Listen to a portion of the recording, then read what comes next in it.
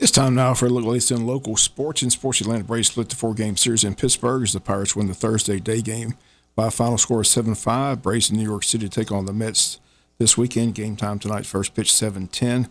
Braves just playing 500 balls since the All Star break, but still lead the division by 10 full games over the Phillies. Mets are 20 games out and are in fourth place in the division. Yesterday, Matt Olson, the hometown kid from Parkview High School, hit his 40th home run of the season. Varsity girls softball team lost 2-0 yesterday at Bacon County. Ada Sluter pitched six innings that allowed no runs, no earned runs, and no walks. Lady Jackets offense shut down by the Bacon pitcher as Wayne held to just two hits in yesterday's game. Team heads to Baxley on Tuesday, to take on the Appling County Pirates.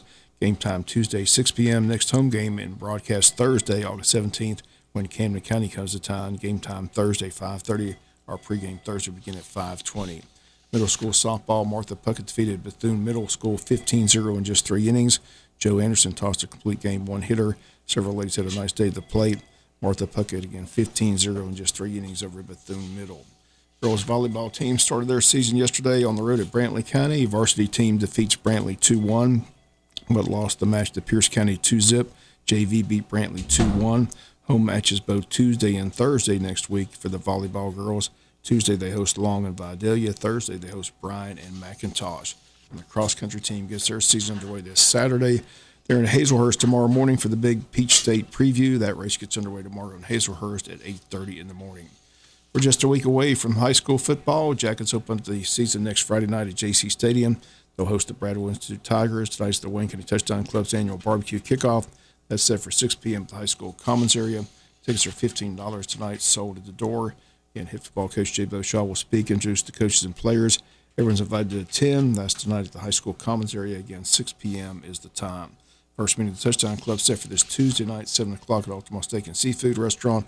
Everyone invited to join. That's Tuesday, again, 7 o'clock at the Altamont Steak and Seafood Restaurant. Georgia High School Association has released their preseason all state teams in all classifications. And in 4A football, Wayne County's Matthew Fuller and Tavion Wallace were both named to the preseason all state team. Fuller, a senior committed to South Carolina, was named by GHSA as the best overall player this year in Class 4A football. Again, Tavion Wallace, just a junior this year for Wayne County, continues to receive offers from every college across the country. Already had offers from LSU, Ohio State, and just about every SEC team in the country. Yesterday, the Georgia Bulldogs came calling and made an official offer. So Tavion's offers continue to roll in. Again, he's just a junior this year. He'll be playing linebacker and receiver this year for the Wayne County Yellow Jackets. His older brother, Trevin, gets ready for his junior year at the University of Kentucky. NFL preseason games underway. The Falcons are at Miami this evening. The Jaguars are in Dallas Saturday for a 5 p.m. kickoff.